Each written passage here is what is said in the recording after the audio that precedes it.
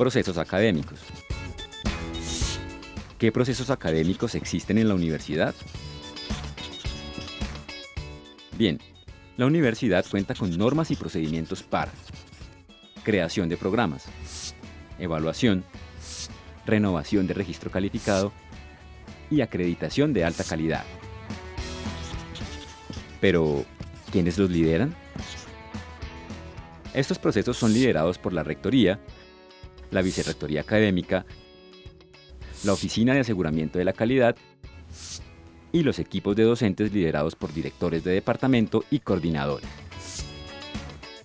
Los docentes, a su vez, lideran procesos académicos de carácter interdisciplinar, al igual que la formación investigativa en pregrado y posgrado. ¿Qué debemos mejorar? Debemos mejorar en la sistematización de información correspondiente a creación, evaluación y acreditación de programas. También debemos ampliar y mejorar procesos de flexibilidad, interdisciplinariedad y homologación. De igual forma es importante fortalecer la formación y el uso de la segunda lengua y registrar periódicamente los eventos académicos de la universidad.